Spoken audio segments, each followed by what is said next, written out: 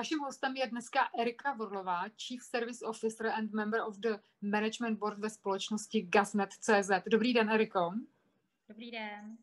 Eh, vy jste na té své pozici eh, Chief Service Officer zodpovědná eh, za různé činnosti ve firmě. Jde to opravdu od lidských zdrojů přes PR, komunikaci, přes nákup, facility až dokonce ke car fleetu. Vy jste řekla v jednom rozhovoru, že chcete se svými kolegy a kolegyněmi udělat z Gasnetu firmu, která bude, a cituji, krásná uvnitř a hrdá na venek. Jak se vám to, Eriko, daří v téhle době, která je opravdu velmi těžká a budování firmní kultury zrovna moc nepřeje? Eh, no je to těžké, ale je to krásné. Baví nás to všechny. Ale samozřejmě té práce eh, uvnitř firmy je hodně. My jsme za minulý rok udělali velký kus cesty i přes COVID, eh, protože máme štěstí, že ten druh biznesu, kterým se zaobíráme, není až tak covidem ohrožený, takže naši lidi můžou všichni pracovat, jenom jsme museli se naučit pracovat trošku jinak. Víc pracovat z domu, eh, být schopný víc využívat sociálních sítí a podobně. Takže já myslím, že se nám to daří, ale je potřeba být trpělivý. A upozorňuji všechny své kolegy, že prostě ta trpělivost je, je nutná. Je kulturu firmy nezměníte přes noc a nezměníte ji na pokyn. Eh, vy jste řekla takové jako museli jsme jenom. Eh, já si eh, dovedu představit, že to, že to jenom byla asi obrovská spousta práce, protože vy máte kolegy nejenom na jednom místě, ale máte je i v regionu. Jak tady udržujete, řekněme, nejenom ty pracovní, ale vlastně i ty lidské vztahy, ten, ten, tu podporu vlastně té kultury? Eh, no je to těžké, určitě. A eh, my využíváme co nejvíce Teamsy, které nám fungují dobře a dají se s nimi dělat jaké hrátky. Takže například moji kolegové dokázali nádherně vymyslet vánoční besídku přes Teamsy. Byla to velká zábava, eh, velká inspirace a myslím, že z těch, eh, z těch feedbacků, které jsem četla, tak to lidi vlastně bavilo. Musíme být kreativní a já mám velké štěstí, že jsem obklopená lidmi, kteří opravdu kreativní jsou a vymýšlí, jak eh, bychom mohli tu firmu dělat lepší a jak ten lidský kontakt nestratit, protože ho všichni opravdu potřebujeme. Já se snažím co nejvíc komunikovat se svým týmem. Samozřejmě není v mých schopnosti komunikovat úplně se všemi, takže pak spoléhám na další manažery ve svém týmu, že to také dělají a věřím tomu, že jo, že jsme v tomhle tom na jedné na jedný palubě. Je to prostě o komunikaci a o tom ten čas lidem věnovat a to je samozřejmě vždycky, vždycky náročný.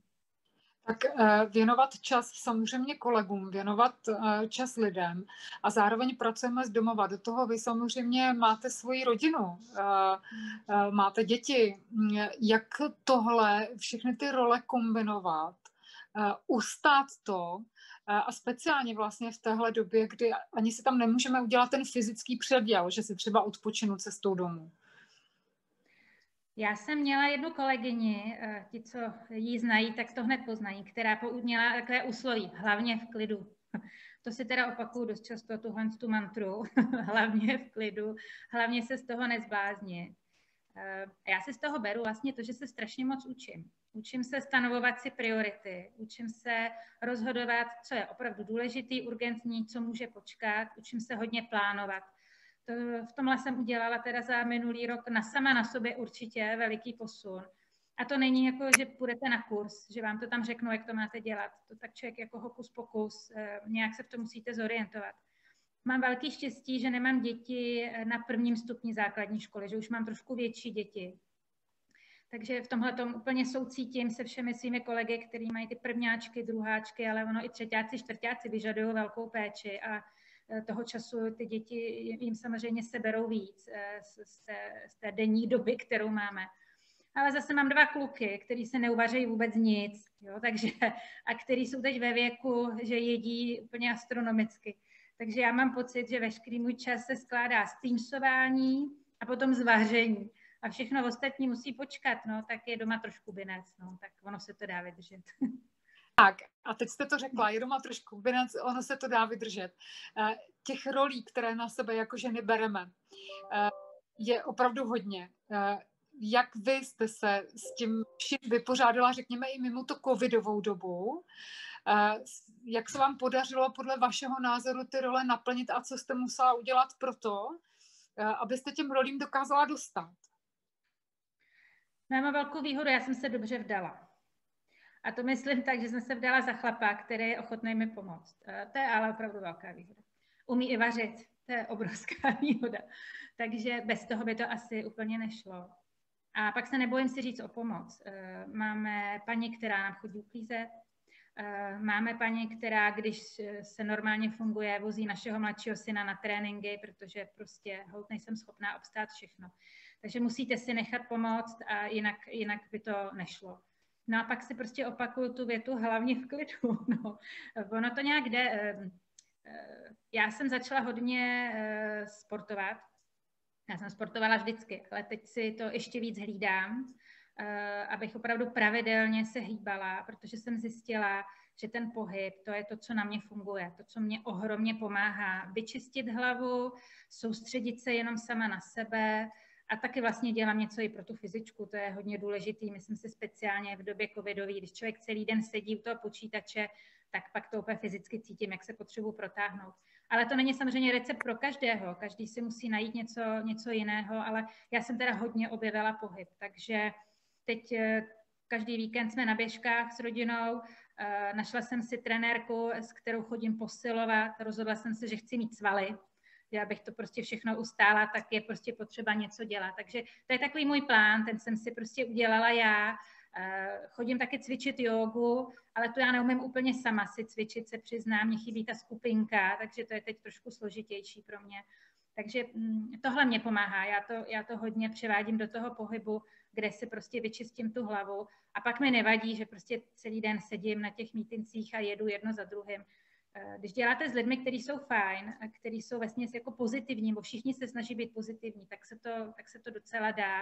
Eh, a jak znova říkám, mám, mám okolo sebe prima tým. Kdybyste, vy jste vysoce postavená manažerka, eh, kdybyste měla poradit mladším kolegyním, které tu kariéru teprve rozjíždějí, co by měli udělat pro to, aby byly úspěšné, tak jako vy? No, v první řadě si myslím, že je dobrý nedat si za plán, že chci být úspěšná. Jo, já, já jsem si vždycky dala jenom plán, že chci prostě dělat svoji práci dobře a dělala jsem mi co nejlíp. A tím se prostě řídím. A pak to ostatní si myslím, že přijde samo. Uh, druhá věc uh, je asi dobré přiznat si, že nebudete nikdy dokonalá. To prostě nejde. Uh, to se nedá. Uh, prostě uh, určitý věci nesleduju Nesleduju, jak vypadají modelky, ani žádné jiné sociální hvězdy. Nesrovnávám se s nimi, protože prostě žiju jinak. Eh, nemůžu trávit tolik dní ve fitku, nemůžu držet diety, protože prostě na to nemám čas. Musím místo to samé, co uvařím svým klukům. To opravdu už jako jinak nejde. Takže tohle je potřeba si přiznat, ale pak asi tak, jak jsem už říkala i s tím pohybem u mě, je dobrý najít to, co vám dělá dobře a, e, a zatím si potom jít a tomu ten čas v tom kalendáři dát, to je hodně důležitý.